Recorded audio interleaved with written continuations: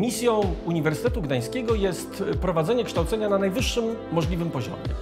Dlatego swoich absolwentów wyposażamy nie tylko w solidne podstawy teoretyczne, ale także w wachlarz kluczowych kompetencji odpowiadających potrzebom gospodarki i rynku pracy.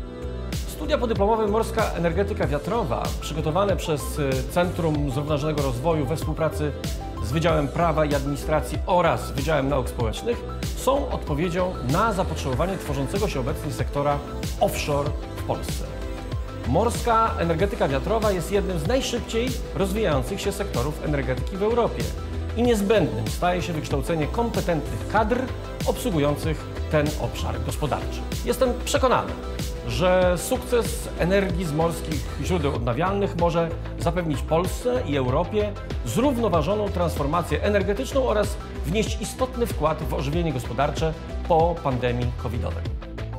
Studia podyplomowe Morska Energetyka Wiatrowa, które zostały przygotowane w Centrum Zrównoważonego Rozwoju Uniwersytetu Gdańskiego, stanowią odpowiedź na zapotrzebowanie zgłaszane przez naszych partnerów z otoczenia społeczno-gospodarczego.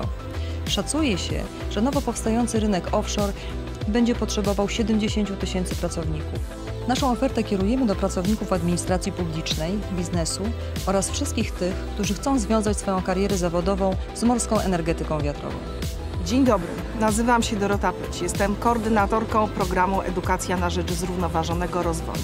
Program ten jest realizowany w ramach Centrum Zrównoważonego Rozwoju, które powstało w styczniu tego roku w Uniwersytecie Gdańskim.